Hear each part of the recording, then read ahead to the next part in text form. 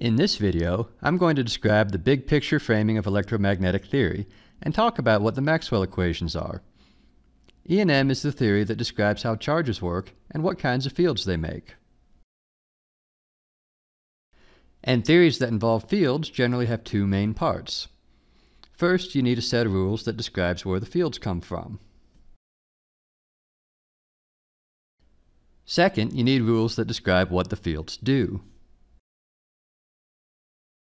In E&M, the rules that describe what fields do are pretty short. Electromagnetic fields exert forces on charges. Electric fields exert forces through F equals QE. And magnetic fields exert forces through F equals QV cross B. Oftentimes, these will be written in one line in what's called the Lorentz force law.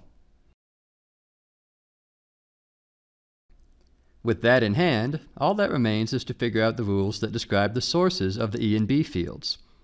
That's what the Maxwell equations are.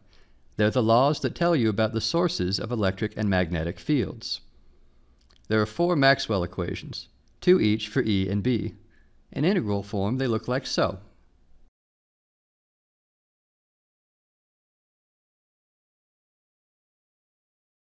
The first is what we call Gauss's law, and it tells us that certain kinds of electric fields, those with divergence, come directly from charges. If you don't know what divergence is yet, you will by the end of vector calculus. Fields with divergence are conservative. If you integrate up a conservative field along a closed loop, you'll end up with a total of zero. Or if you prefer, conservative fields are such that if you go around in a circle, you end up right back where you started. The second Maxwell equation has no common name. And it tells us that there's no source for divergent magnetic fields. Magnetic fields with divergence simply don't exist. The third law is Faraday's law, which tells us about electric fields with a different shape, those that have curl. Fields with curl are non-conservative, if you integrate them around a closed loop, you'll get a non-zero answer.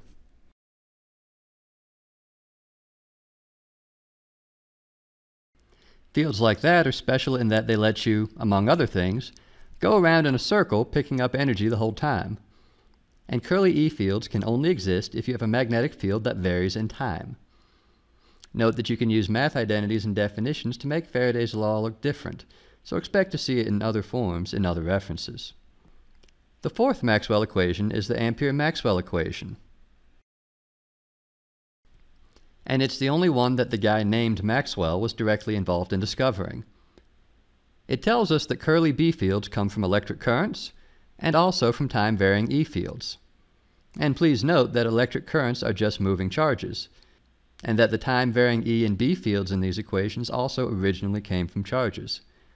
Ultimately, all E and B fields come from charges, either stationary or moving.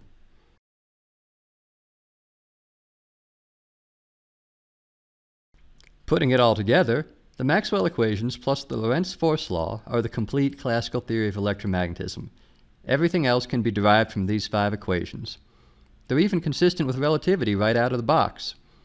It's only when quantum mechanics rears its ugly head that this set of equations starts to need a bit of touching up. Fortunately, that's a problem for another day.